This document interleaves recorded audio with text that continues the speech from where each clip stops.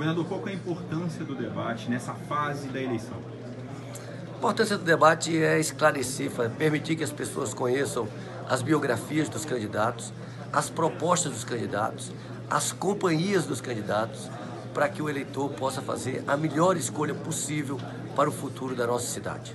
Governador, o senhor tem sido alvo de muitos ataques aí dos seus adversários. É, como que o senhor é, é, responde a isso de maneira geral?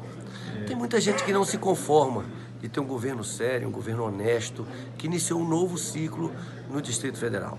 Mas a população é sábia. Ela sabe a situação que pegamos Brasília, o esforço e o trabalho que fizemos para arrumar a casa e agora, com certeza, com as contas em muito melhores condições, nós vamos poder fazer muito mais por Brasília. O senhor que seus adversários representam um retrocesso e, salvo engano, também fala que eles até representam aí uma banda podre do que é a política. É isso mesmo, governador?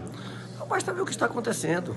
Essa semana nós tivemos um ex-governador condenado, um ex-governador que teve, tem quatro candidatos aí que vieram do campo dele. É, tivemos um candidato condenado. Hoje tivemos um pedido de iniciamento por parte do Ministério Público de uma outra candidata. Nós temos um candidato que esconde os seus aliados. Portanto, isso demonstra claramente que há uma, há uma divisão cristalina. No nosso caso, nós temos muita honra, muito orgulho de apresentar nossos aliados, Leila do Vôlei, Chico Leite, como candidatos ao Senado e todos aqueles que nos apoiam.